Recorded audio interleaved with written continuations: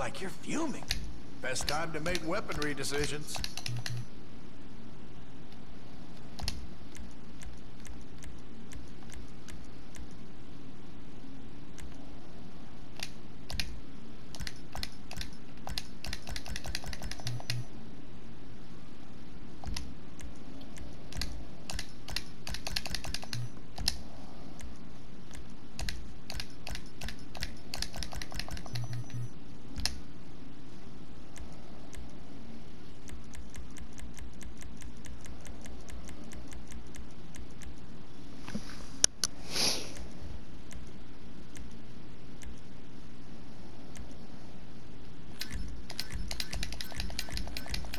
Post-apocalyptic needs under one roof.